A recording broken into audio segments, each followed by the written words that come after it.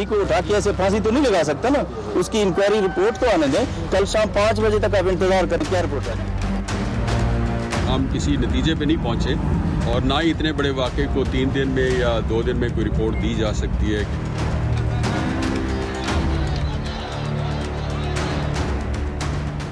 अस्सलाम वालेकुम मैं हूँ जुनैरा अजहर और प्रोग्राम है टॉप स्टोरीज़ कल से जो सूरत हाल है मुल्क में सियासी, उसमें सबसे ज़्यादा जो एक प्रोमिनेंट फ़ीचर है वो साहिवाल इंसिडेंट है।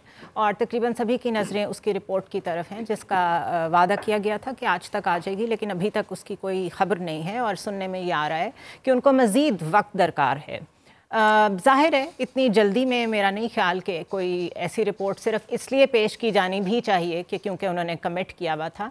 लेकिन बहरहाल जो एक हैप हैज़र्ड रिएक्शन गवर्नमेंट का था उनकी तरफ़ से जो आ, इस चीज़ को रिप्रेजेंट करने वाले थे, वो जितने मुतजाद बयान दे रहे थे, वो वज़ी अली की गुफ्तु में भी कन्फ्यूज़न और उनके ऊपर प्रेशर जो है वो नज़र आ रहा था। देखना ये है कि क्या इंक्वायरी कमीशन की तरफ़ मामला जाता है या जे आई टी ही इस मसले को हल कर सकेगी? क्योंकि एक पटिशन दाखिल की गई, दाखिल की गई है लाहौर हाई कोर्ट में, जिसमें ये कहा जा रहा है कि ये लोगों की ज़िंदगी का मसला है और हाई कोर्ट को इसमें इंटरवीन करना चाहिए। और उसकी दलील देते हुए मियाँ आसिफ महमूद, जिन्होंने ये पटिशन दायर की है वो ये कहते हैं कि सिर्फ़ एक माह में सात इनकाउंटर हुए हैं दो, 2019 में जनवरी में सिर्फ़। तो जहाँ सिचुएशन इस तरह की हो वहाँ पे इंटरवेंशन तो चाहिए। नज़र आ रहा है कि सिचुएशन जो है वो बहुत गंभीर है। टेररिज्म के ख़िलाफ़ जो जंग है वो ज़ाहिर अभी ख़त्म नहीं हुई है। लेकिन अगर वो आ, फाटा से निकल कर शहरों तक आन पहुँची है तो ज़ाहिर है कुछ ना कुछ आपको आवाम को भी एतमाद में लेना चाहिए। इस हवाले से आज गुफ्तु करेंगे हम। हमारे साथ जो मेहमान मेहमान मौजूद हैं मैं उनका तारुफ आपसे कराती चलूँ। मेरे साथ ब्रिगेडियर फ़ारूक हमीद मौजूद हैं एनालिस्ट हैं हमारे साथ स्टूडियो में होंगे और हमारे साथ मौजूद हैं ख्वाजा खालिद फ़ारूक साहब जो कि फॉर्मर आईजी हैं और head of counter terrorism authority रह चुके हैं। तो हम इनसे काफ़ी कुछ समझ भी सकेंगे जो शायद इस वक्त समझने की भी ज़रूरत है क्योंकि बहुत ज़्यादा क्रिटिसिज्म कई दफ़ा के में और लोगों की परेशानी और कन्फ्यूज़न में इजाफा करता है। तो लेट्स ट्राई टू अंडरस्टैंड कि ये सिचुएशंस क्रिएट कैसे होती हैं और जनरेट कैसे होती हैं और इनको हल कैसे किया जाता है। सबसे पहले मौजूदा सूरत हाल पे इनसे गुफ्तु करने से पहले हम अपने रिपोर्टर अदनान खालिद से बात करेंगे जो करंट जो भी सिचुएशन चल रही है पोलिटिकल मेन स्ट्रीम में उससे हमें आगाह करेंगे। जी अदनान आप हमें सुन सकते हैं? जी। जी बताइए आपके पास क्या लेटेस्ट न्यूज़ हैं? जी, सानिया साहिवाल के हवाले से और अमन अमान की सूरत हाल के हवाले से पंजाब भर में वज़ीर अला पंजाब उस्मान बुजार की जेर सदारत एक इजलास जारी है, जिसमें वज़ीर कानून Raja Basharat C T D के हेड और इसके अलावा जे आई टी के मेम्बरान और महकमा दाखिला के नुमाइंदे भी जो हैं इसमें शामिल हैं।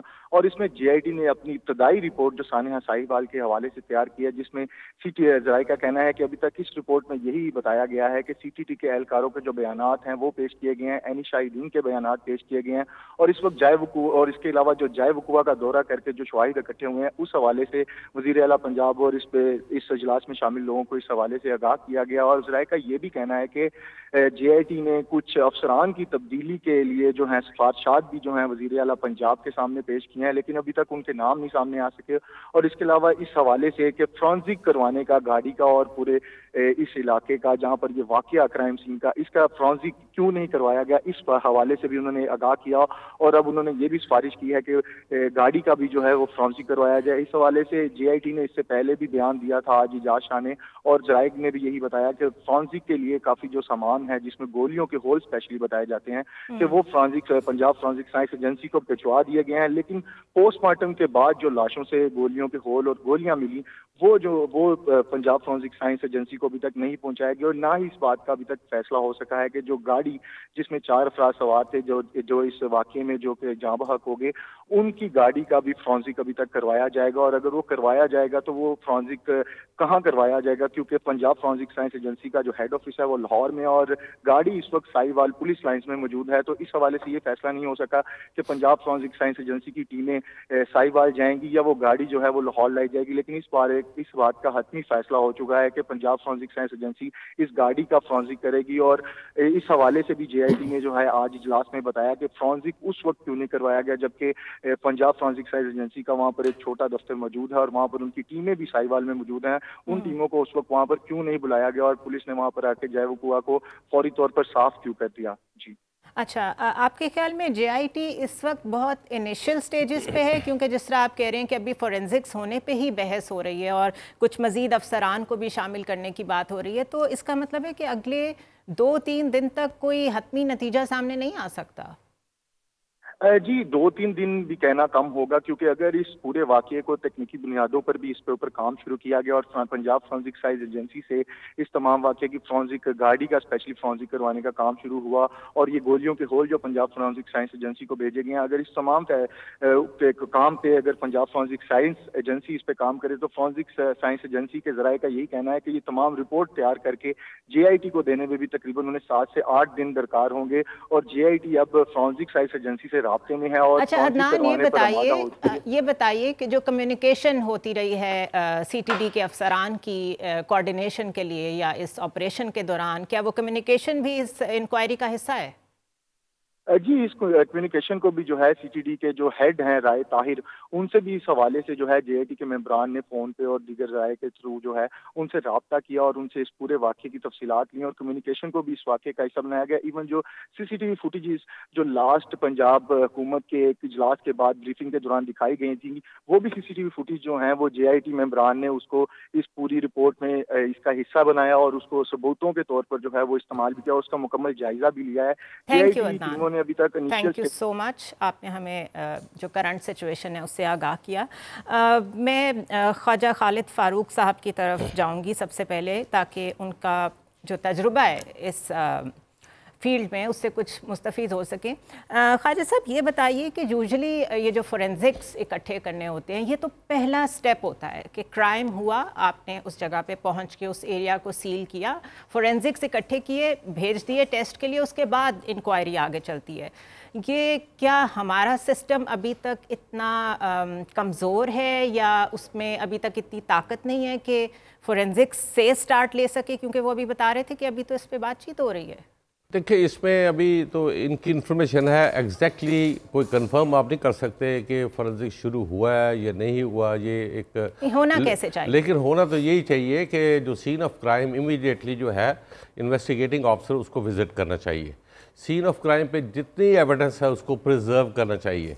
जिसमें वो गाड़ी भी शामिल है, वो उसमें और कोई डॉक्यूमेंट्स कोई चीज़, कोई टेलीफोन सेल्स जितना भी है और वो उसको प्रिजर्व करके संभाल के उसको भेजना चाहिए रेलेवेंट अथॉरिटी के पास और एनालिसिस इसमें गाड़ी डेफिनेटली क्योंकि गाड़ी में जब वो शेल फायर होते हैं तो वो फोरेंसिकली बताएँगे एक तो वो जो है जो उसका वेपन यूज़ किया है वो कौन सा है?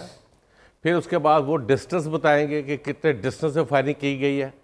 और जो फिर उसको कोरिलेट करेंगे पुलिस के जो या सीटीडी के जो भी मुलाजम थे वो अपने बयान में क्या कहते हैं वो इसे क्रॉबरेट करते हैं वो जो फोरेंसिक एविडेंस उसको स्टैब्लिश करती है उसके डिस्टेंस को ये नहीं करती वो उसको मतलब नलीफाई होता है या उसके क्रॉबरेट होता है। हम्म। ये सारी चीज़ें हैं। फिर उसमें उन पे जो मेडिकल एग्जामिनेशन है, वो भी इंपॉर्टेंट पार्ट है। वो बताएँगे कि कॉज ऑफ़ डेथ क्या है, जो कि ट्रायल स्टेज पे, किसी स्टेज पे भी वो, उसके बगैर पनिशमेंट नहीं हो सकती कन्विक्शन नहीं हो सकती। अगर बाकी पनिशमेंट अब बाकी एविडेंस जो है सफिशेंट मौजूद हो right. तो ये चीज़ें तो बुनियादी हैं और डेफिनेटली अब मैं नहीं कमेंट कर सकता कि उन्होंने किया ये नहीं किया लेकिन मैं ये कहता हूँ कि ये इमीडिएट फ़र्स्ट स्टेप होता है कि तमाम तरह के एविडेंस प्रोसीजर्स तो समझ सकते हैं ना कि सबसे पहले तो यही होना चाहिए लेकिन एक मैं थोड़ा सा और तबसरा भी करना चाहता हूँ इसकी इंक्वायरी के हवाले से टू स्टार्ट विद इनिशियल ताकि क्लियर हो हम्म। मेरा जो इतराज़ इसमें सारा है प्रोविंशियल गवर्नमेंट से ये चूँकि प्रेशर में आगे हैं तो आता भी नॉर्मली इस तरह का इंसिडेंट होता है रिएक्शन इतना होता है तो बड़ा तकलीफ़ दे वाक़ हुआ उसमें कोई ऐसी बात नहीं है। बट नर्व से ही साबित करते हैं या तो आप उसको ऑप्ट करते कि जी प्रिलिमिनरी फैक्ट फाइंडिंग रिपोर्ट मंगवाते right. वो शायद तीन दिन चार दिन में वो मिल जाती। प्रिलिमिनरी टाइप की फैक्ट फाइंडिंग रिपोर्ट इन्होंने जो ऑर्डर नोटिफिकेशन जो मेरे इलम में आया है वो इन्होंने जेआईटी का इन्वेस्टिगेशन इंटरेस्ट की है। इन्वेस्टिगेशन के लिए लॉ में जो है एक महीना उसका तो जो है सेकंड स्टेप होना चाहिए था। तो वो इन्होंने गलत किया है। एक जब आप इन्वेस्टिगेशन करेंगे तो वो तीन दिन में नहीं हो सकती। तीन दिन में जैसे वो आपके नुमाइंदे ने सही बात की है फॉरेंसिकल को हफ़्ता दस दिन उनको लग जाएँगे। मेडिकल को अलग लगेंगे। केमिकल एग्जामिनर पर चीज़ें जाएँगी वो अलग रिपोर्ट देगा। नक्शे बनने हैं लोगों के स्टेटमेंट लेने हैं विटनी वीडियो उसको एनालिसिस करना है Data collect होना है डेटा फिर टेलीफोन कॉल जो उनकी रास्ते में ऑपरेशन के लिए जब जा रहे थे उसका एनालिसिस लेना ये बड़ा काफ़ी काम होता है। तो दैट मिनिमम एक महीने में भी अगर दे दे तो बहुत बड़ी एफिशिएंसी की बात होगी। Right. ये इनको चाहिए था कि प्रिलिमिनरी उसमें एक investigation report कह देते इन्वेस्टिगेशन नहीं inquiry fact finding report inquiry report okay. ताकि उसमें प्राइम फिसाई अगर आपको साबित हो कि ये आदमी कोई क्लियर कट इन्वॉल्व है या नेग्लिजेंस है या क्रिमिनल नेग्लिजेंस है उनको आप रिमूव कर सकते हैं पब्लिक भी सेटिस्फाई हो जाती और उसमें फिर जो है ताकि वो आपकी इन्वेस्टिगेशन में इन्फ्लुएंस ना कर सके। तो ये जो है ना सिस्टम में प्रॉब्लम इनको पता नहीं है या प्रेशर में बहुत आ जाते हैं कि तीन दिन में इन्वेस्टिगेशन इन्वेस्टिगेशन तो मुमकिन नहीं है ना नॉर्मल केस की नहीं होती है। तो ये इस तरह की जो, इस तरह का जो टेररिस्ट टाइप का आई वुड से कि हॉरेंडस किस टाइप का जो हमारा इवेंट अनफॉर्चुनेट हुआ है। जो मिस हैंडलिंग हुई है वो तीन दिन में कहाँ से इन्वेस्टिगेशन बिल्कुल ठीक कह रहे हैं खालिद साहब और इसी पे मज़ीद हम आपसे अभी गुफ्तु जारी रखेंगे। मैं फ़ारूक हमीद साहब की तरफ़ आऊँगी। फ़ारूक साहब इसमें सबसे पहले जो ज़िम्मेदारी आयद होती है वो उस एक शख्स पे या उस एक डिपार्टमेंट पे या उस एक सेल पे होती है जिसने ये इंफॉर्मेशन पास ऑन की थी। और इन्फॉर्मेशन भी बाद में इंटरप्रेट होती है फॉर एक्शन तो ये पास किसने की और इसको इंटरप्रेट किसने किया? और एक ऐसा एक्शन लेने के लिए एक अप्रूवल किसने दिया? क्या आप समझते हैं कि अभी उस डायरेक्शन में हम गए हैं चीज़ों को फाइंड आउट और क्या वो लोग अंडर इन्वेस्टिगेशन होंगे? बिस्मिल्लाह रहमान बहुत शुक्रिया। देखें जो जिस आई साहब फारूक साहब फरमा रहे हैं, वो बिल्कुल ठीक है कि जब आपने एक डिटेल क्रिमिनल इन्वेस्टिगेशन करनी है तो वो तो तीन दिन में नहीं हो सकती उसमें फॉरेंसिक भी आएगा लैब टेस्ट भी होंगे वो क्राइम सीन की वो पिक्चर्स वो तमाम चीज़ें वो होंगी। उसके बाद क्योंकि चलान बनना है कोर्ट में जाना है कन्विक्शन होनी है इन्होंने लेनी है प्रोसिक्यूशन है तो ऑब्वियसली वो तमाम चीज़ें तो हैं। लेकिन मेरी नज़र में देखें बात यह है कि जो अक्यूज हैं छः सी के वो किसकी कस्टडी में? वो they are in the custody of the of the government मतलब वो पुलिस की कस्टडी में नंबर एक। जो मेन अक्यूज है जो मुलजिम है और जिनको पूरी दुनिया ने देखा है नंबर टू जितने उस सीन के ऊपर जो वीडियोस बनी है मेन स्ट्रीम मीडिया तो बाद में आया सोशल मीडिया तो तमाम दस कैमरे लेके लोग रिकॉर्ड कर रहे थे वो भी इनके पास है। अब जारी बात है कि ऊपर से लोग तो नहीं आए ना यही लोग थे जिन्होंने गोलियाँ चलाई थी। ठीक है ना जी? वो बाद में फॉरेंसिक होगा कि ये गोली क्या थी क्या इसका साइज़ था वगैरह वगैरह वो कैलिबर था। उसके बाद अ, किसने ऑर्डर किया? देखें ये तो सी टी डी के इंटरनल जो एस ओ पीज हैं वो क्योंकि ये इंटेलिजेंस बेस्ड ऑपरेशन करते हैं इनके स्पेशलाइज ऑपरेशन होते हैं तो इसका मतलब ये है कि इनके एसपी साहब हो गए इनकी एआईजी साहब हो गए जो हेड टी डी को उन्होंने ऑर्डर किया होगा ना या कोई बाहर के लोगों ने ऑर्डर तो जिन्होंने ऑर्डर किया वो भी वो पता कर सकते हैं तीन अच्छा, में चौथी चीज़ इंटेलिजेंस इंफॉर्मेशन अगर उनके पास आई है कि वाकई मिस्टर जीशान एक दहशतगर्द था तो वो ए, अपना इंफॉर्मेशन किधर से आई? इनके अपने स्पेशल ब्रांच से आई? रहे आईएसआई से आई है चले अगर आईएसआई से भी आई है तो वो भी चीज़ पता है। नो मेरा कहने का मतलब यह है कि यहाँ मैं बात मानता हूँ कि एक प्रिलिमिनरी इंटरम रिपोर्ट जो है वो इनकी तरफ़ से आनी चाहिए to the chief minister you cannot say to the chief minister के सर हम आपको तीस दिन के बाद जो है पूरे सर- दस वॉल्यूम तैयार करके सर मैं इस पे भी मजीद बात करना चाहूँगी क्योंकि यहाँ पे मामलात हमें ना इस तरह नज़र आ रहे हैं जिससे अब ब्लेम शिफ्ट हो रहा है from one department to another number one number two इस वक्त जो प्रेशर है गवर्नमेंट पे गवर्नमेंट उस प्रेशर को सही हैंडल नहीं कर पा रही है और उसको सही से मेरे ख्याल है मामले को नाप नहीं पा रही है। नहीं, नहीं। वरना well this is your opinion हम उस पर भी आएँगे। क्योंकि प्रेशर में तीन दिन में कह देना कि हम आपको जीआईटी की रिपोर्ट दे देंगे मेरे ख्याल है ये एक और ब्लंडर था। इस पर मजीद हम बात करेंगे। मुझे मुख्तसर फ़ा लेना है नाजिन stay welcome back to top stories हमें ज्वाइन किया है बैरिस्टर अहमद पनसोता साहब ने जो कि प्रैक्टिसिंग लॉयर हैं और हमारे यहाँ एक्सपर्ट के तौर पे मौजूद हैं। Uh, इनसे जानने की कोशिश करते हैं। अहमद साहब uh, अभी हम डिस्कस कर रहे थे कि लॉ में चीज़ें कब जाती हैं किस स्टेज पे जाती हैं जो जे है उसकी इंक्वायरी क्या कंप्लीट हो सकती थी तीन दिन में? क्योंकि गवर्नमेंट ने वादा कर लिया था कि, कि तीन दिन में आपको हम रिपोर्ट दे देंगे। दूसरी जानब हाई कोर्ट में किसी ने अपील की है कि ये ह्यूमन राइट्स का मामला है। High Court must intervene because government इसमें सीरियस नहीं है या गवर्नमेंट का पोटेंशल नहीं है। आप किस तरह देखते हैं इस सारे मामले को? मैं समझता हूँ जी वाक्य जिस मर्ज़ी स्केल का हो वाक्य के अंदर ऑब्वियसली डैमेज तो बहुत बड़ा है। इस वाक्य को जितना मर्ज़ी क्रिटिसाइज़ किया जाए कम है। लेकिन उसके जो स्टैंडर्ड ऑपरेटिंग प्रोसीजर्स हैं, अगर आप उनको फॉलो कर लिया जाए तो इवेंचुअली क्रिमिनल ट्रायल में भी हेल्प होती है इन्वेस्टिगेशन में भी हेल्प होती है। जो पुलिस का एक तरीक़ाकार है FIR registration and after that उसके बाद उस पर तफ्तीश हुई। अच्छा टेररिज्म का अगर वाक्य हो जिसको सीटीडी ने क्योंकि इसको हैंडल किया है तो भी वही प्रोसीजर्स होते हैं जो आम पुलिस के प्रोसीजर्स होते हैं? इन्वेस्टिगेशन प्रोसीजर्स तो जी सेम रहते हैं। इट इज़ जस्ट कि आप किस कानून के तहत एफ़ आई आर होती है जिस तरह एंटी टेररिज्म एक्ट के तहत है okay. या नॉर्मल पाकिस्तान पीनल कोड के तहत है यहाँ पर चूँकि टेररिज्म से रिलेटेड वाक्य है इसको इस तरह पोर्ट्रे किया जा रहा है। सेवन एटी भी लगी है सेवन एंटी टेररिज्म राइट उसका जो तफ्तीश के प्रोसीजर्स हैं वो तो सेम है लेकिन अनफॉर्चुनेटली यहाँ किया ये जा रहा है कि they are playing it to the gallery press के लिए ज़्यादा खेला जा रहा है उसका जो डैमेज कंट्रोल है उसको ज़्यादा करने की कोशिश की जा रही है लेकिन जो असल इन्वेस्टिगेशन है कि ये कॉज क्या बना इंटेलिजेंस हम्म। कहाँ से आई जो कि मैं समझता हूँ सबसे इंपॉर्टेंट सवाल है। अभी हम यही दे हैव टू शूट क्यों शूट किया गया? डिस्टेंस क्या था? वो तो खैर सारी बात की बातें हैं हम्म। कि ये हुआ या नहीं हुआ। बट ये वाक्य क्यों हुआ? इतनी स्पेशलाइज्ड फोर्स जो कि पुलिस की बनाई गई है काउंटर टेररिज्म डिपार्टमेंट की ये इससे इस टाइप का इतना बड़ा वाक्य क्यों सरजद हुआ? अच्छा initial if I may interrupt initial fact finding report की बात कर रहे थे खालिद साहब कि सबसे पहले तो एक वो uh, बननी चाहिए थी। तो उसमें क्या डिटर्मिन करना सबसे पहले ज़रूरी है कि इंफॉर्मेशन का सेंटर सोर्स ऑफ़ इंफॉर्मेशन क्या था? किधर से आई? किसने इंटरप्रेट किए और किसने ऑर्डर्स किए? या फिर ये सबसे पहले ज़रूरी है कि फोरेंसिक्स करा लिए जाएँ और स्ट्रेट इन्वेस्टिगेशन की तरफ़ जाया जाए? मैं जी उनके जिस पॉइंट से वो बात वो कर रहे थे, उससे तो मैं भी अग्री करता हूँ कि आप डायरेक्टली जॉइंट इन्वेस्टिगेशन टीम्स पे चले गए हैं। पाकिस्तान की सुप्रीम कोर्ट से लेके नीचे तक हर चीज़ अब जॉइंट इन्वेस्टिगेशन टीम्स पर रिलाई किया जा रहा है। मैं समझता हूँ कि जो नॉर्मल स्टैंडर्ड ऑपरेटिंग प्रोसीजर्स हैं एफआईआर का इंदराज होता, उसके बाद तफ्तीश होती। हमारी पुलिस, मैं जहाँ पर उनकी कोताही हैं, वो इक्विप्ड भी है इस चीज़ को तफ्तीश करने के लिए, कोई ऐसी बात नहीं है।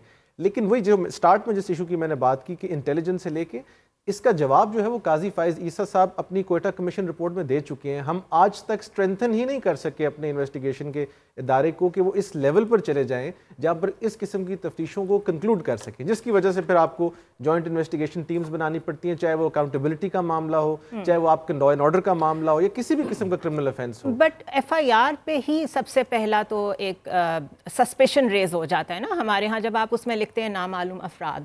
अब इसमें इंटेंट का बहुत अमल दखल है कि आपने नामालूम अफराद क्या इसलिए रखा कि आपको लेटर ऑन पता चलेगा कि इसमें और लोग भी इन्वॉल्व थे। जी बिल्कुल मैं आपसे भी लेती हूँ कि एक इंटेंट है कि शायद लेटर ऑन पता चले इसमें और लोग भी इन्वॉल्व थे तो उसको नए सिरे से ना स्टार्ट करना पड़े। या फिर नामालूम कह के आप इसको just you want to brush it under the carpet Khawaja साहब आप जवाब देना चाह रहे हैं? हाँ जी बात ये है ये बड़ा मिसकनसेप्शन है कि एफआईआर में नाम आना चाहिए पहले। एफआईआर तो एक इन्फॉर्मेशन है। वो तो दो लाइनों की हो सकती है तीन लाइनों की हो सकती है जब वहाँ हम जा रहे थे। Right right. ये एक वाक़ हुआ है। पुलिस तफ्तीश करके इंसाफ पे इसको कंक्लूड किया जाए। उसमें अगर ये लिख देते मतलब बाद में पता करके पुलिस वाले बताते कि जी हमारी ये टीम थी वो लिख देते वो ज़्यादा इस इस केस में तफ्तीश वो वो तो ज़्यादा डाउटफुल हो जाता? okay. कि जी इनका पब्लिक के बंदों को उनके नामों का कैसे पता है? हम्म। हाँ उसमें ये लिख सकते हैं कि इतने बंदे थे गवाहान की तरफ़ से और जिनको हम सामने आने पर शनाख्त कर सकते हैं। फिर वो शनाख्त परेड होती और बाकी in the mean time corroborating दूसरी एविडेंस कलेक्ट करती है पुलिस। तो फिर आपको जाके उसके अच्छा, लिए कन्विक्शन अगर क्योंकि अगर आप उसको नाम एडिशनल देते हैं तो वो डाउटफुल हो जाता है अच्छा ठीक है हाँ पॉइंट टेकन बट अगर हम इसको रिलेट करें टू मॉडल टाउन इंसिडेंट हालाँकि करना नहीं चाहिए लेकिन इसको इस वक्त डिबेट जो किया जा रहा है वो उसी लेंस से किया जा रहा है। उसमें पचास से ज़्यादा नाम दे के मामले को इतने ज़्यादा एम्बिगस कर दिया गया कि मतलब आपने उस वक्त के सेक्रेटरी का भी नाम दे दिया आपने चीफ मिनिस्टर का तो चलें दिया लॉ मिनिस्टर का दिया सारे साद रफीक का भी नाम डाल दिया मिनिस्टर्स का नाम डाल के उसको एक political C F I R बना दिया। अब उसका आप नतीजा देख लें कि उस पर अभी तक फैसला नहीं हो पा रहा।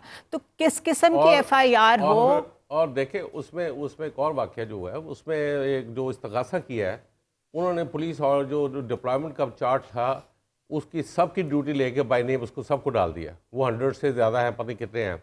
उसमें कोई सही जेनुअन भी होंगे कोई रोल ही कोई नहीं होगा फिर ये एक्सप्लेन नहीं कर तो सकते। गवर्नमेंट के खिलाफ थी क्योंकि तो वो- एफआईआर तो वो सबके नाम डाल दिए। ना, तो वो केस डैमेज हो गया ना। पॉलिटिकली आपने उसको यूज़ कर लिया और असल में जो लोग थे उन तक इंसाफ नहीं पहुँचा। लेकिन ये बताइए कि फारूक साहब अगर मैं आपकी तरफ़ आऊँ गवर्नमेंट इतना ज़्यादा ऑप्टिक्स को प्रेसिडेंस क्यों दे रही है? मतलब इस वक्त ज़रूरी ये नहीं है कि आप आके कहें दो दिन वेट कर लें तीन दिन वेट कर लें या हम ज़िम्मेदारी लेते हैं। इस वक्त ज़रूरी है लोगों को एक बड़ा कॉन्क्रीट सा एक कॉन्सनट्रेटेड एफर्ट का नज़र आना कि हम कोशिश कर रहे हैं कि मामले की तह तक पहुँच सकें, वो नहीं नज़र आ रहा। देखिए, बात यह है कि मॉडल टाउन का जो हमारे सामने मिसाल है, चार साल गुजर गए अभी तक एक कन्विक्शन नहीं हुई ट्रायल उस लिहाज से जिस तरह चलना चाहिए ट्रायल नहीं चला है। 125 जो है तकरीबन पुलिस में ऑफिसर्स हैं और पुलिस पर्सनल जो उसमें इन्वॉल्व हैं, जो अक्यूज हैं including the IG of the province at that time और जिस तरह उसको डिले करने की कोशिश की जा रही है तो मेरे ख्याल ये PTI government wants to prove कि जनाब hum, we will not follow the model town uh, tradition. हम उसको we will not get it make we'll make sure कि ये मामला डिले ना हो और ये जल्द से जल्द इसका ट्रायल हो। लोग अपने मंतकी जान तक पूछे जो भी accused हैं। लेकिन, लेकिन फारूक साहब ये कैसे मशीर हैं? जिस तरह अभी हम अहमद साहब से बात कर रहे थे जो उनको सही in the light of law guide ही नहीं कर रहे हैं कि असल में इस तरह चलना चाहिए। अ, आपके जो शहयार आफरीदी हैं वो कुछ और कह रहे हैं वज़ीर आला कुछ और कह रहे हैं। सोए हुए बच्चे के साथ जाके तस्वीर खिंचवानी क्या ज़रूरी थी? देखिए, पहली बात ये आप फ्यूनरल में चले जाते लोगों के लोगों को काम डाउन करते उनका हिस्सा बनते हैं। जिस तरह आप पहले तकरीरें करके उनका हिस्सा अपने आप को साबित करते रहे हैं अब ये एकदम से आप लोगों के हाथ पाँव क्यों फूल गए? नहीं देखिए हाथ पाँव फूलने वाली बात नहीं बल्कि हमें अप्रिशिएट करना चाहिए। कमाल बात देखिए मेरी बात सुनो मुझे आप मौका देना जी। आप मुझे ये बताएँ कि जब इतना बड़ा एक सान्या होता है चाहे वो मिस्टेकन आइडेंटिटी है रॉन्ग इंफॉर्मेशन बेस्ड है या कोई जाति इनाम के ऊपर मुझे मौका मुझे मौका तो देना।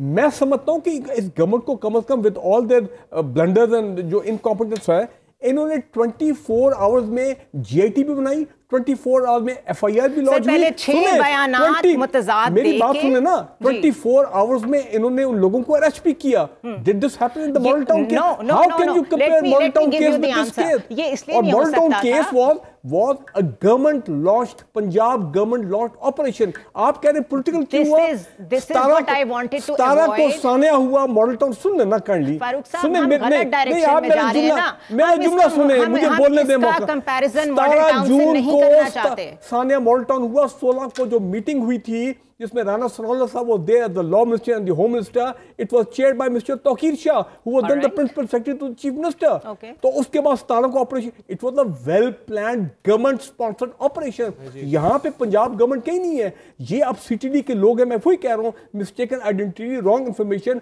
कोई उनका अपना कोई केस ऑफ़ पर्सनल रिवेंज था वाई डिड ऑपरेशन फेल तो देखो ना you can't compare apples and oranges सवाल ही पैदा होता होता आप कंपैरिजन कर क्यों रहे हैं? नहीं वो तो आपने जो कहा ना कि ये मॉडल टाउन मैं एक मिनट मैं, हूँ। मैं मैं तो एक बात कर लूँ मैं एक बात मैं कहता हूँ मॉडल टाउन के मुकाबले में the speed of response of the federal government and the Punjab government they should get the credit for आप ठीक कह रहे होंगे लेकिन बात यह है कि उसको हमने अभी जिस तरह डिस्कस किया कि उसका एक टेक्निकल एंड है और उसका एक पॉलिटिकल एंड है, ठीक है? पॉलिटिकली अगर उसको कादरी साहब लीड कर रहे थे, वो आते जाते रहे हैं, उसको अगर क्रिटिकली परसू करते, यहीं बैठ जाते, इमरान खान भी बैठ जाते कि जब तक मॉडल टाउन के केस का फैसला नहीं होगा। चाहे चाहे उसमें कोई भी हिकअप्स आ रहे हैं लॉफुली हम उसको ठीक करेंगे। हमारे पास गवाह मौजूद है जिनके बच्चे मरे हैं, जिनके माँ बाप मरे हैं। किसी ने उस तरीके से परसू नहीं किया। कमाल हो गया। वो जो एक जो जो कादिर साहब का जो धरना था जो सेकंड। सिक्सटी सेवन डेज़ का धरना वो वो किस बात धरने की इसी के इन्वेस्टिगेशन में गया मामला। जनाब कोई वो इन्वेस्टिगेशन में गए। FIR लॉन्च नहीं हो रही है उनकी बातें नहीं सुन जो विक्टिम्स हैं उनकी फैमिलीज़ के सर हम ब्लेम गेम में नहीं सर ब्लेम गेम में पड़ जाएँगे तो एहतसाब नहीं होगा इंसाफ नहीं होगा। हमें यहाँ चाहिए इंसाफ। अहमद साहब आप बताइए कि क्यों हम कंपैरिजन्स में पड़ जाते हैं? क्या डिफरेंस है दोनों केसेस में? और क्या इस पे पॉलिटिकल जो स्कोरिंग कर रहे हैं हमारे मुख्तलिफ़ लीडरान बैठ के क्या वो किसी भी मॉरली लिहाज से सूट करता है इस गवर्नमेंट को? देखिए जी कंपैरिजन जिस पॉइंट ऑफ़ व्यू से आप बात कर रही हैं मैं दुरुस्त समझता हूँ कि नहीं करना चाहिए बट एक दूसरी साइड से कंपैरिजन बनता भी है। दोनों साइड्स जो हैं वो हाईलाइट करती हैं the high handedness of the state right और इतना गिरौना वाक्य हुआ था मॉडल टाउन उसके बाद लॉ मिनिस्टर ने रिजाइन किया था। क्या इस वक्त हमारे तो आज तक मैं यही तयन नहीं कर सका कि रिजाइन किसने करना है? आपका सीटीटी का हेड भी वहीं पर चीफ मिनिस्टर वहाँ पर exactly. है प्राइम मिनिस्टर दो दिन के दौरे पे गया हुआ ट्वीट करता है कि मैं वापस आके इस चीज़ को एड्रेस करूँगा। नहीं वो कहते हैं रिफॉर्म्स को एड्रेस करूँगा generalised my my my question थी बल्कि रात में एक प्रोग्राम में था तो मुझे एक साहब ने कहा कि जी रेजिग्नेशन की ज़रूरत नहीं है। भाई एक मुल्क का प्राइम मिनिस्टर बोट सिंह करने पर रिजाइन कर जाता है। लॉर्ड बेट लेट अपनी पार्लियामेंट में आने से रिजाइन कर जाता है। और यहाँ पर इतना बड़ा वाक्य हुआ है। ये बताइए क्या मॉरल हाई ग्राउंड नहीं चाहिए होती जब आपने पार्लियामेंट में देखा कि थ्रेसा मे का जो ब्रेग्जिट प्लान था exactly. एक टिपिकल इकोनॉमिक इशू है। वो साइडलाइन हुआ उनको दोबारा vote of no confidence face करना पड़ा। उसके बाद उन्होंने मॉरली अपने आप को पार्लियामेंट में दोबारा इस्टेब्लिश किया। अब मामला आगे चल रहे हैं। यही लोग डिमांड करते थे जब कोई भी वाक्य होता था कि फ़लाँ को रिज़ाइन कर देना चाहिए शहबाज शरीफ को रिज़ाइन कर देना चाहिए। अभी भी बुजदार साहब ही मेरे बहुत अच्छे सिलेक्टेड किस्म के वसीम अक्रम प्लस हैं। अगर आप इसी पे मुजिर हैं तो क्या आपके पिछले बयान गलत थे? हम बात करेंगे इस पर नाजिर एक मुख्त वक्फे के बाद। Welcome back once again to top stories Ahmad साहब एक बड़ा क्रिटिकल क्वेश्चन मेरे जहन में आ रहा है क्योंकि वो एक केस हुआ था रेमन डेविस का अगर आपको याद हो। और भी कई हुए हैं जिसमें घूम फिर के जो मामला हैं ना वो दियत की तरफ़ चले जाते हैं। आपको इसमें जो भी दफात लगी हैं या जिस तरीके का भी ये केस बनाए इसमें आपको उसका तो कोई एलिमेंट नहीं लग रहा कि इवेंचुअली उस तरफ़ जाएगा मामला? देखिए जिसमें चूँकि सेवन एटी चार्ज है तो सेवन एटी के ऊपर इफ्तार मोहम्मद चौधरी साहब की भी जजमेंट बड़ी कैटेगोरिकली क्लियर है। आई थिंक गालिबन 2007 की है कि दिस के नॉट बी सेटल्ड और ये सेवन एटी लगाने का मकसद भी बेसिकली ये होता है कि इस किस्म की जो सेटलमेंट है वो ना हो सके। दियत हम्म। का असल मकसद तो और है हम्म। जो रिलीजियसली भी प्रिस्क्राइब किया गया और हमारा पीपीसी उसको करती है प्रिस्क्राइब लेकिन यहाँ पर वो अनफॉर्चुनेटली गलत इस्तेमाल होता है। One issue that I want to address कि पूरी दुनिया में इस किस्म के वाक़ात होते हैं। हम बात भी कर रहे थे इस बारे में इसमें जो सबसे इंपॉर्टेंट एलिमेंट होता है वो इंटेलिजेंस का होता है। दहशत गर्दी पूरी दुनिया में इंटेलिजेंस के थ्रू कंट्रोल की जाती है कि कितनी अच्छी और कितनी सस्टेनेबल आपकी इंटेलिजेंस है। Right. आपकी चाहे बॉर्डर्स पे हो चाहे विद इन द सिटीज़ हो। अगर आपकी इंटेलिजेंस वीक है लेट से हम मान लेते हैं कि पुलिस ने अपना एक बिल्कुल सही कैरी आउट किया बट जो इनकी इंटेलिजेंस थी उसने अगर इन्फॉर्मेशन ये दी कि इस गाड़ी में दहशत गर्द हैं तो then they will not wait कि वो आगे से बताएगा कि मैं दहशत गर्द हूँ नहीं हूँ। अच्छा वो तो फिर देखें अगर सिंपली व्हीकल आइडेंटिफाई हो गई है और बता दिया गया कि इसमें दहशत गर्द हैं अब this is a very generic statement तो वो तो ज़ाहिर जाके फायर ही करेंगे। वो जाके बच्चे तो नहीं देखेंगे ठीक है मैं एक बात कर रही हूँ वो नहीं देखेंगे उसमें बच्चे हैं उसमें खातन है उसमें क्या है। बिकॉज़ हो सकता है वो आगे जाके अगर उसमें ब्लास्ट होता है तो उससे बहुत ज़्यादा डैमेज हो। बट आपकी इंफॉर्मेशन मैं आपकी तरफ़ आऊँगी ख्वाजा साहब। क्या इतनी हमारी इंटेलिजेंस की ये हालत है कि हम जेनेरिक हो के सिर्फ़ बता रहे हैं कि जी फलां गाड़ी है और all of a sudden CTT उसके पीछे भागती भी गई है। कोई रूल्स इन प्लेस हैं? किसने ऑर्डर किया? किसने इंटरप्रेट किया? किसने उस इंटेलिजेंस को आगे शेयर किया? देखिए ये एक बड़ा अच्छा क्वेश्चन आपका है और ये रिगार्डिंग है यूज़ ऑफ़ फोर्स और इंटेलिजेंस के हवाले से। Right right. जो प्रेस रिलीज़ जे सी की तरफ़ से आया उसमें उन्होंने वादे किया है कि ये आईएसआई और सी का जॉइंट ऑपरेशन था। Okay. अब उसमें ये नहीं पता कि आईएसआई किस स्टेज पर शामिल थी क्या सिर्फ़ इन्फॉर्मेशन थी और या मौके पर भी गए थे that's it beside the thing further उन्होंने मतलब उनका पर्सन आना चाहिए बाकी हम उसको ना माने। दूसरा पॉइंट वो कहते हैं कि ये अंडर ऑब्जर्वेशन था। अदील नामी एक बंदा है जो रेड लिस्ट में उसका नाम है हम्म। और वांटेड है और उसे काफ़ी टेररिज्म के वाक़ात किए हैं पाकिस्तान में। तो उस उसके हवाले से वो कहता है जो उन्होंने सोलह मई को ये गाड़ी OLX के ज़रिए ख़रीदी है जिसके बाद ये जी शान को दी गई और उसको वो इस्तेमाल करता है। ये उसका टोटली फॉल्स हो but I am just narrating there तो वो कहते हैं जी कि ये अंडर वॉच था। वो जब ये गाड़ी मूव की है तो वो सेफ़ सिटी कैमरा ने आइडेंटिफाई किया है कि जी वो गाड़ी जो अंडर ऑब्जर्वेशन थी, ये मूव कर गया इमीडिएटली टीम वर डिस्पैच फिर वहाँ जाके हुआ जो सब कुछ आया सामने। अब उसमें यह है यूज़ ऑफ़ फोर्स के हवाले से। यूज़ ऑफ़ फोर्स के हवाले से जो है, ये मौके का अफसर इज़ द बेस्ट मैन क्योंकि यहाँ इस तरह के जाके मार दो, इस तरह नॉर्मली ऑर्डर दिए को नहीं जाते।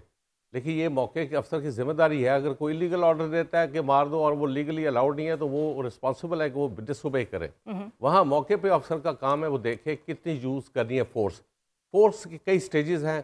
फोर्स आप जुबानी कह सकते हैं जी मैं आपको गिरफ़्तार कर रहा हूँ। फोर्स हाथ पकड़ के ये भी फोर्स है क्योंकि सर जब आपने टायर बर्स्ट कर दिए मैं मैं वो लोग रुक गए मैं उधर आ रहा हूँ उधर आ रहा हूँ कि उसमें अब ये जस्टिफाई करना कि जी क्या उनका वर्षन है कि हम पे फायर हुआ। हम्म। अब ये प्रूफ ये सारी हमारी जो फोरेंसिक और ये और साइट इंस्पेक्शन क्लियर होगा कि बाकी उन पर फायर हुआ है।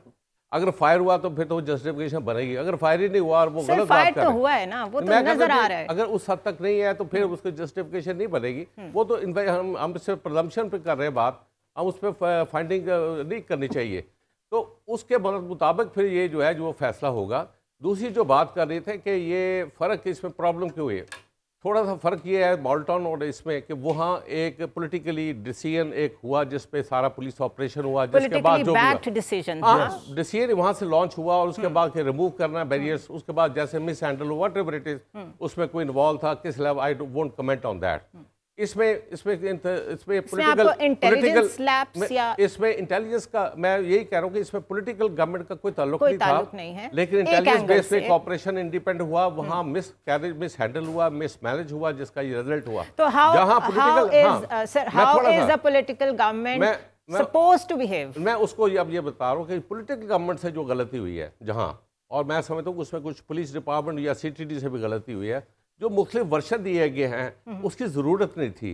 जब प्राइम ये क्या कर देते हैं? अपेरेंटली अगर नज़र आता है कि कोई ओवर डूइंग हो गई है तो स्टेट वे गवर्नमेंट की तरफ़ से या सीटीडी या आईजी की तरफ़ से ये बयान आना चाहिए कि ये हुआ है बधायर हमें नज़र आ रहा है कि उसमें कुछ ज्यादती हो गई है। आईजी को बयान देना चाहिए था। चाहे IG हो, चाहे CT रिस्पांसिबिलिटी किस पे आती है? कि नहीं रिस्पॉन्सिबिलिटी पहले फिक्स नहीं करते स्टेट में वो- नहीं, initial नहीं, वो आफ्टर इंक्वायरी होता है। ऐसे नहीं हाँ उसको ये कहते हैं कि हम केस सर किसके नहीं, अंडर ऑपरेशन हुआ नहीं मैं कह रहा हूँ कि उसमें कहते हैं कि हमने पर्चा दर्ज कर दिया है। राइट बंदे क्लोज कर लिए। अब okay. इसमें जो रिस्पॉन्सिबल विल टेक एक्शन हुआ ये है कि वो जब तक सीट पे बैठा रहेगा वो टेम्परिंग नहीं करता रहेगा? वो देखिए प्रिलिमिनरी इंक्वायरी का मैं जो कर रहा था बात वो यही थी कि जी आप इसकी प्रिलिमिनरी इंक्वायरी करा लेते हैं फैक्ट फाइंडिंग इन्वेस्टिगेशन में जब आपने डाला तो वो कंफ्यूज कर दिया। वो हो नहीं सकती तीन दिन में। तो आप एक्शन भी लेते क्योंकि पब्लिक चाहती है कि एक्शन भी हो। पॉलिटिकल गवर्नमेंट के लिए फेस करना मुश्किल what is the way forward for the political government पहली बात तो ये है कि ओके अगर जीआईटी ने अपना हतमी अपनी रिपोर्ट नहीं दी और वो और मामला कई दिन और मामला लेट हो जाएँगे तो मेरी नज़र में और मैं समझता हूँ शायद ये पंजाब गवर्नमेंट करेगी they do not want the inquiry investigation to be influenced और मेरी नज़र में इस वक्त बाय भाई मैं बताता हूँ। देखिए ना विद इन द सी ये होता है। जब किसी एक इदारा जो है उसमें इस तरह का प्रेशर आ जाता है कि now you open to subject to what to a lot of detailed internal investigation आपकी एस ओ पीज आपके प्रोसीजर्स हु ऑर्डर इंटेलिजेंस कहाँ से आई इंटरप्रेट हुई आपने क्या किया वो did you monitor the operation तो आपके ख्याल में ये सारे क्वेश्चंस पूछे जा रहे होंगे? अच्छा, बिल्कुल पूछे जा रहे होंगे पता होगा किधर जी, से order मैं ये समझता हूँ बिल्कुल मैं ये समझता हूँ इस वक्त जो हेड ऑफ़ द सीटीडी है आई डोंट इवन नो कौन कोई एआईजी साहब है। असुलन उनको आपको साइड पे कर देना चाहिए। उस For वक्त तक जब तक इंक्वायरी हो ताकि किसी तरीके से इन्फ्लुएंस नहीं होना चाहिए इन्वेस्टिगेशन को। अ, सवाल अहमद साहब से मैं फाइनल एक ये करना चाहूँगी कि from legal point of view इस वक्त रिस्पॉन्सिबिलिटी किसकी बनती है कि वो अलहदा हो अपने आप को सिस्टम से अलहदा करे ताकि इन्वेस्टिगेशन शफाफ तरीके से हो सके? और पॉलिटिकल गवर्नमेंट का इस वक्त रिस्पॉन्स क्या होना चाहिए? जी मैं ज़ाती तौर पर समझता हूँ कि जो फारूक साहब ने सजेशन दी है रिगार्डिंग सीटीडी के हेड ठीक है उनको भी रिमूव होना चाहिए बट हमेशा जो रिस्पॉन्सिबल है टू द इलेक्ट्रेट वो गवर्नमेंट है गवर्नमेंट के नुमाइंदे हैं। तो द कंसर्न मिनिस्टर वो आई थिंक आलबन आजकल चीफ मिनिस्टर साहब के पास है जस्ट लाइक शहबाज शरीफ साहब अठारह उन्नीस जितनी भी मिनिस्ट्रीज उनके पास है उनमें से एक के ऊपर उनको रिज़ाइन करना बनता है। And secondly to find out the truth and to sift out the truth the most important thing for me is judicial commission report अगर हो इमरान खान साहब हर चीज़ पर जुडिशल कमीशन रिपोर्ट मांगते रहे हैं साहब का दौर में लेकिन अब आकर वो खुद भी जीआईटी बना रहे हैं और यही जब सुप्रीम कोर्ट में मामला हुआ था पहले तो वो उनको पसंद नहीं आया था why are they shying away from a judicial commission report जब मॉडल टाउन में जुडिशल कमीशन रिपोर्ट आई है यहाँ पर भी एक आ सकती है जुडिशल कमीशन रिपोर्ट जिसके ऊपर एक क्रेडिबिलिटी उसके साथ एसोसिएटेड है और पाकिस्तान की तमाम पब्लिक जुडिशरी के अंदर कन्फाइड भी करती है और समझती है कि वो एक अच्छी रिपोर्ट आ सकती है। तो I think judicial commission would have been a better ये ये बिल्कुल I support this recommendation high court के जज साहब होंगे it will be a very credible report जो बनेगी। बिल्कुल। बिल्कुल ठीक है एक आई सपोर्ट दिस जी सीटीडी के जो एक लाइन में कह दूँ कि उस पे एक तो जो है तीन दिन में कोई हाई कोर्ट की जुडिशियल इंक्वायरी नहीं होगी एक तो ये क्लियर होना चाहिए।